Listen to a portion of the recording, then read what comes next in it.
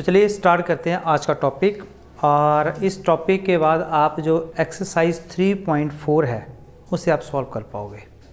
ठीक है? तो यहाँ पे देखिए, x plus two Y is equal to zero X is equal to five ये कौन सी इक्वेशंस है? क्या बोलते हैं हम? लीनियर इक्वेशन और आपने प्रीवियस क्लास में आप पढ़कर आए हो, है ना? इसे क्या बोलते हो?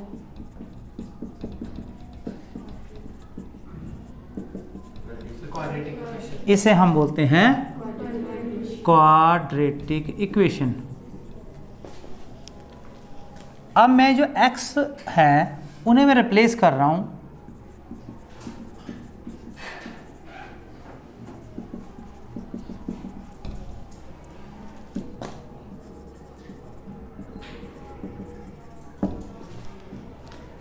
इन्हें हम क्या कहेंगे?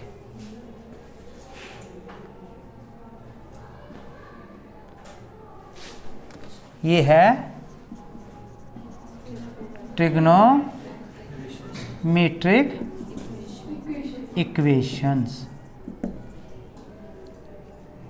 ठीक है? तो ट्रिग्नोमेट्रिक ट्रिग्नोमेट्रिक इक्वेशंस क्या हुई the equation involving trigonometric functions. Sin x, cos x, tan x, cot x. Of a variable angle यहाँ पे x x, या यहाँ पे मैं इसे थीटा लिख दूँ, यहाँ मैं थीटा लिख दूँ तो यहाँ पे जो वेरिएबल एंगल है थीटा तो इस प्रकार की जो इक्वेशंस हैं, उन इक्वेशंस को हम क्या बोलेंगे? ट्रिग्नोमेट्री इक्वेशंस ओके यहाँ पे सॉल्यूशन क्या चीज़ होगी? The value of this X या value of this theta will be solution of the equation which satisfy this equation या दिस इक्वेशन ठीक है? एक्स जो एंगल हमारा यहाँ पे अननोन एंगल है एक्स या थीटा है, या अल्फ़ा है, वो जो हमारे पास आंसर आएगा, वो उस इक्वेशन का सॉल्यूशन होगा if that angle satisfy the given equation पीछे हमने लेक्चर में पढ़ा था कि जो ये टी रेशोज़ हैं, ये आफ्टर टू पाई इनकी वैल्यू रिपीट होती है। किस किस की? Sin X cos X secant X cosecant X इनकी वैल्यू हर दो पाई के बाद क्या होती है जी? रिपीट होती है। किया हमने पहले? और हमने ये भी किया कि जो टेन एक्स है और जो कॉट एक्स है, उनकी वैल्यू रिपीट होती है आफ्टर पाई जब ये जो सोल्यूशन आपने फाइंड किया है ये आपने सॉल्यूशन जो फाइंड किया है एक्स अगर इसकी वैल्यू इन चार क्वाड्रेंट के बीच में रहेगी फ़र्स्ट सेकंड थर्ड फोर्थ तो उस सॉल्यूशन को हम बोलेंगे, कौन सा सॉल्यूशन प्रिंसिपल इसका मतलब है कि अगर एंगल एक्स है तो एंगल एक्स की वैल्यू ज़ीरो से लेकर टू पाई के बीच में अगर वेरी करती है इस क्वाड्रेंट में इस क्वाड्रेंट में इस क्वाड्रेंट इस क्वाड्रेंट क्योंकि ये चार क्वाड्रेंट की जो वैल्यू ज़ीरो से स्टार्ट होकर टू पाई तक रहती है मतलब इसकी जो ठीक है रेंज है। तो अगर x की वैल्यू ज़ीरो टू पाई के बीच में रहती है तो वो जो सोल्यूशन आपको मिलेगा वो क्या सोल्यूशन होगा? प्रिंसिपल सोल्यूशन ठीक है। नेक्स्ट एक और सोल्यूशन है। General solution. कौन सा सॉल्यूशन? जर्नल सॉल्यूशन क्या है कि सॉल्यूशन इन्वॉल्व एन एक एन इंटीजर है, वो इन्वॉल्व है उसमें and which gives the solution of all all equations जो भी इक्वेशन हमें गिवन होगी, उसकी सारे solution all solution of a given equation और उसमें एन इन्वॉल्व होगा। ऐसे सॉल्यूशंस को हम क्या कहेंगे? जनरल सॉल्यूशन वो आपको ऐसे मिलेंगे। टू एन एक्स टाइप या एन एक्स टाइप ठीक है? मतलब इसमें एन इन्वॉल्व है दैट इज़ एंटीजर पॉजिटिव हो सकता है नेगेटिव वैल्यू भी हो सकती है। ये उसमें आपको सोल्यूशन मिलेंगे तो उस प्रकार के सोल्यूशन को हम क्या कहेंगे? जनरल सोल्यूशन और जनरल सोल्यूशन में क्या होता है? कि जितने भी उस इक्वेशंस के सोल्यूशन पॉसिबल हैं, वो सारे आपको वहाँ पे उस जनरल सोल्यूशन में मिल जाएँगे। आप एन की वैल्यू वेरी करते जाएँ। आप माइनस में या प्लस में करते हैं तो आपको वो डिफरेंट वैल्यू मिलती रहेंगी। ठीक है जी? तो नेक्स्ट हम इसके ऊपर क्वेश्चन सॉल्व करते हैं। लेकिन कुछ फार्मूले हैं जो आपको याद रखने हैं। तो मैं आ, आपको बता देता हूँ वो कौन से फार्मूले हैं। सिक्स फार्मूले हैं वो आपने याद करने हैं। जब तक आप वो फार्मूले याद नहीं करेंगे तब तक इस एक्सरसाइज में कोई भी क्वेश्चन आप सॉल्व नहीं कर पाएँगे। ठीक है? चलिए इसे नोट कर लें फिर आगे चलते हैं। तो यहाँ पे मैंने एक क्वेश्चन लिया है sin X is equal to root three upon two. और हम फाइंड करना चाहते हैं इसका प्रिंसिपल सॉल्यूशन ठीक है? तो इसका मेथड क्या है? देखो ध्यान से देखना आपने। Sin X is equal to आपने ना रूट थ्री अपॉन टू आपने देखना है कि साइन का कौन सा एंगल है जिसकी value root three upon two है। हाँ जी बोलिए। सिक्सटी तो पाई बाई थ्री चलिए यहाँ पे एक हम क्वाड्रेंट भी बना लेते हैं। देखिए जी साइन जो है, क्योंकि हमने प्रिंसिपल सोल्यूशन निकालना है। हमारा जो सोल्यूशन है, वो, अगर सपोज़ करो एक्स है तो ज़ीरो से लेकर टू पाई के बीच में होना चाहिए। तो ये हमारे पास जो पाई बाई थ्री है, ये आया हमारा फ़र्स्ट क्वार्टर में। क्या कोई और भी साइन की वैल्यू है जहाँ पे जो पॉजिटिव है? साइन। सेकंड में भी साइन। तो क्या मैं sin pi plus sorry pi minus pi by three लिख देख लो। साइन पाई बाई थ्री की वैल्यू बेटा यहाँ पे और साइन पाई बाई थ्री कितना होता है रूट थ्री पॉइंट टू और sin pi minus pi by three भी साइन पाई बाई थ्री की ही वैल्यू है। और ये कहाँ पे है? सेकंड क्वाड्रेंट में। और sin pi by three sin two pi by three. और क्या ये दोनों एंगल इन चार क्वाड्रेंट के बीच में है? ज़ीरो से एक्स की वैल्यू ज़ीरो से लेकर टू पाई के बीच में। मतलब इन चार क्वाड्रेंट में लाई करनी चाहिए। तो देखो, ये फ़र्स्ट क्वाड्रेंट में ये कहीं और नहीं है, कोई और वैल्यू साइन के पॉजिटिव सिर्फ़ साइन जहाँ दो पॉजिटिव है, बाकी दो में नेगेटिव होता है। तो therefore X is equal to pi upon three और टू पाई अपॉन थ्री ये हमारी प्रिंसिपल वैल्यू है प्रिंसिपल सोल्यूशन है इस ट्रिग्नोमेट्री इक्वेशन के लिए। बात समझ आई ठीक है? चलिए, इसको नोट करो, एक और क्वेश्चन ले लेते हैं। ठीक है? 3.4 एक्सरसाइज का क्वेश्चन नंबर फ़र्स्ट गिवन है tan X is equal to root three find करना चाहते हैं आप प्रिंसिपल एंड जर्नल सोल्यूशन दोनों हमने सोल्यूशन फाइंड करने हैं. ओके तो पहले हम फाइंड करेंगे प्रिंसिपल सोल्यूशन तो रूट थ्री की वैल्यू कौन से एंगल की है जब टेन लेंगे हम? Tan pi by sixty that is pi by three अब टेन और कौन सी क्वाड्रेंट में सेम वैल्यू होगी? पॉजिटिव कहाँ पे है? उसका सही तरीका जानने का कि आप ये देखिए कि टेन पॉजिटिव कहाँ पे है?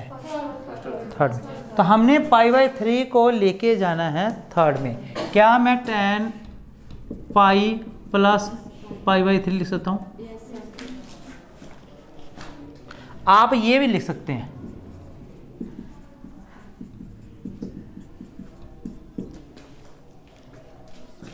क्या ये थर्ड क्वार्टर में है?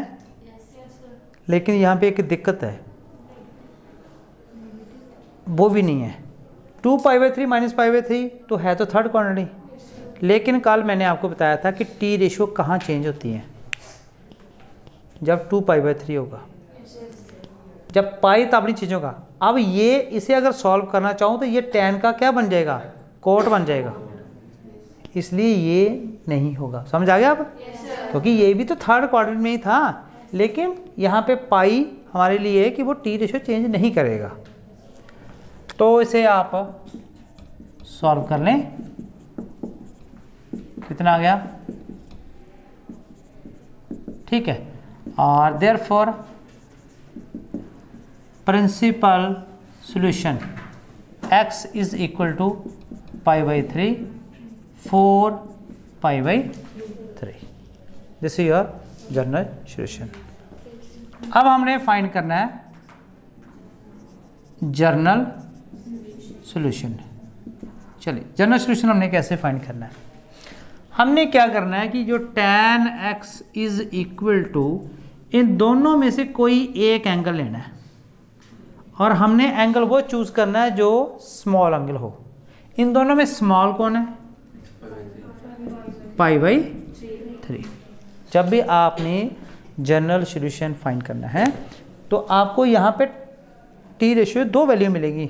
चाहे वो नेगेटिव हो चाहे यहाँ पे दो वैल्यू देखो। Tan pi by three tan four pi by three जो है वो रूट थ्री के बराबर है। अब टेन एक्स हमने इन दोनों में किसी एक के इक्वल लेना और जो आपको लोएस्ट एंगल है हमने वो चूज़ करना है। अब ये मेरे पास आ गया। अब ये फार्मूले आ गए आपके। अब देखो यहाँ पे कोई फार्मूला है?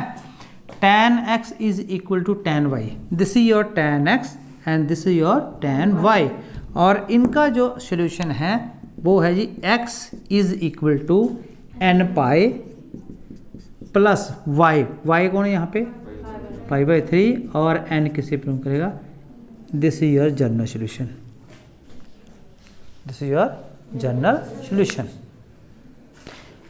यहाँ से आप प्रिंसिपल सोल्यूशन फाइंड कर सकते हैं। एन की वैल्यू ज़ीरो पुट करें। इंटीजर ज़ीरो होता है? Yes, तो कितना आएगा एक्स पाई बाय थ्री या देखो पाई बाई थ्री फिर एन की वैल्यू वन पुट करो। Three into one four pi by three आ गया।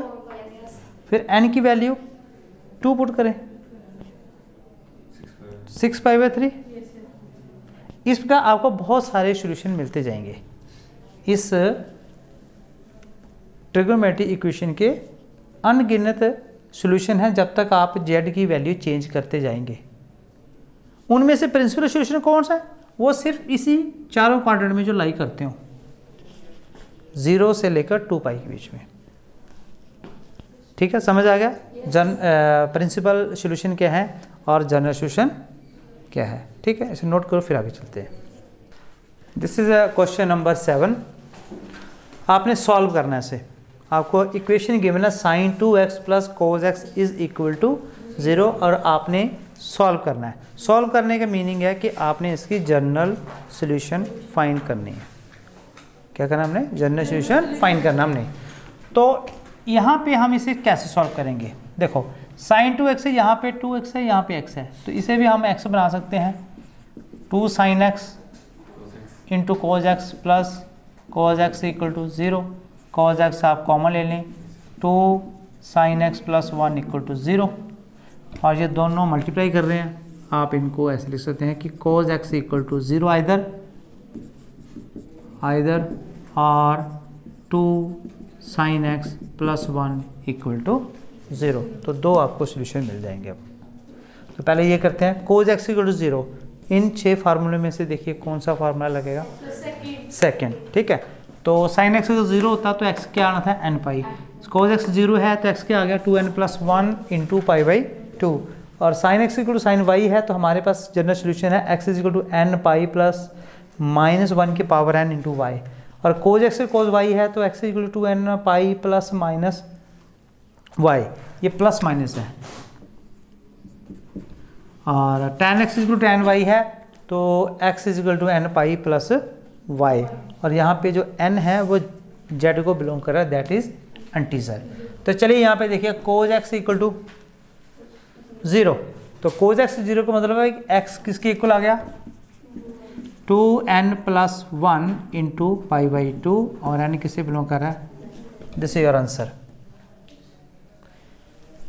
two sine x plus one इसे सॉल्व कर रहे हैं। Two sine x is equal to minus one sine x is equal to minus one by two और sine x is equal to minus और one by two sine का कौन सा angle है जिसकी वैल्यू वन बाई टू है? Sine pi by six मतलब thirty degree तो sine x equal to minus sine pi by six लेकिन हमारे पास जो फार्मूला है sine x is equal to sine y तो ये माइनस नहीं चाहिए। अब ये जो फ़ंक्शन है, ये नेगेटिव है। अब हमने इस नेगेटिव को हटाना है। हटा कैसे सकते हैं कि हम इस फ़ंक्शन को ले जाएँगे ऐसी क्वाड्रेंट में, यहाँ पे साइन नेगेटिव है। कौन सी क्वाड्रेंट में साइन नेगेटिव है? थर्ड और फोर्थ में। अब फोर्थ में ले जाना तो दो तरीके हैं। एक तो मेथड ये है कि आप two pi minus pi by six कर सकते हैं?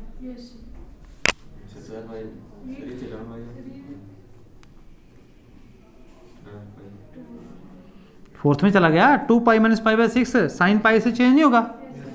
तब भी तो फोर्थ में जे या मैं लिख दूँ pi plus pi by seven. तब भी क्या? तब भी साइन चेंज नहीं होगा इसके का वैल्यू वही रहेगी। या मैं माइनस कर दो, तब भी ये फोर्थ क्वाड्रेंट में है। समझ? गए अगर एंगल के साथ माइनस लगा दूँ तो वो, ये जो साइन है, वो कौन सी क्वाड्रेंट में पहुँच जाएगा? फोर्थ में। तो मैं यहाँ पे ना, जैसे आपकी बुक में रिज़ल्ट है, मैं ऐसे कर देता हूँ। तीनों में से कोई भी कर दो, आपका आंसर ठीक माना जाएगा। ठीक है? इसका जनरल सोल्यूशन ये formula sine x is to sine y है। तो आपके पास जनरल सोल्यूशन आएगा।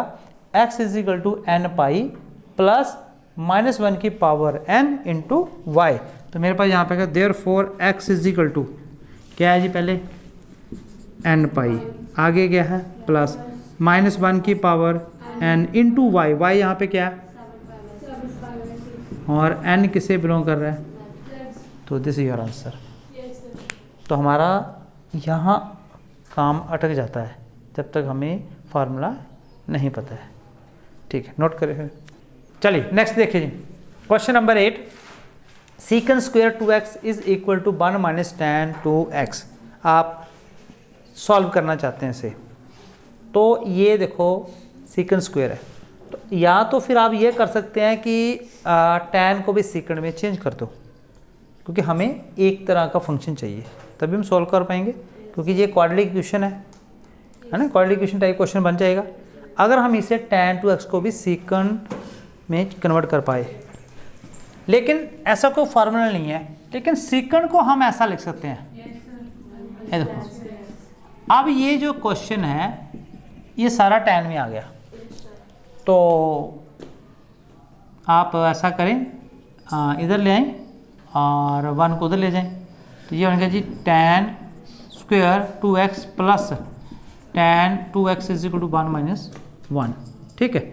इन दोनों में टेन टू एक्स को कॉमन लिया जा सकता है।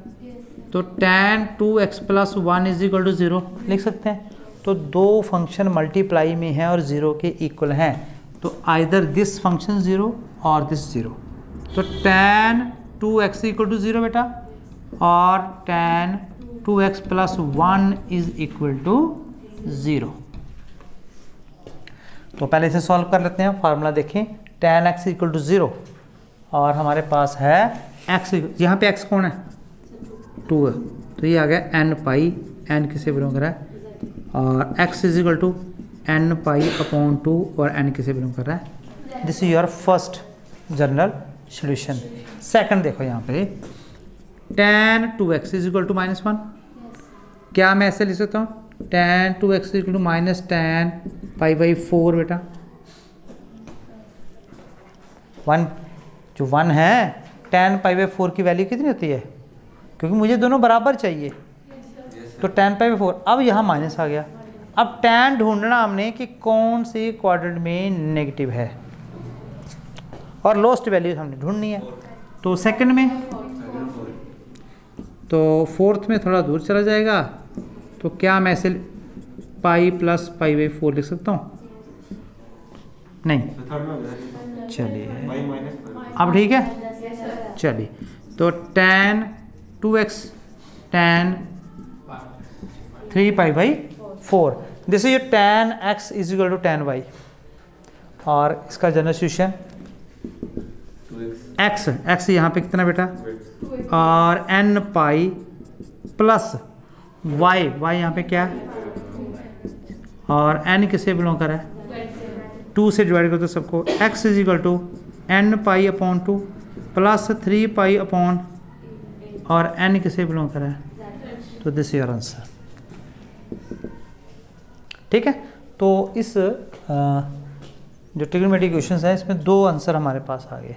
और यहाँ पे वैसे दो नहीं है। आप एन की वैल्यू चेंज करते हैं तो आपको बहुत सारे आंसर मिल जाएँगे। ठीक है? तो आप कर पाएँगे। अब मुझे लगता है कि आप इस एक्सरसाइज में अगर वो क्वेश्चन आ जाए तो आप सॉल्व कर पाओगे। ठीक है जी? नेक्स्ट जो हम करेंगे मिसलेनियस पेपर में क्वेश्चन करवाऊँगा आपको।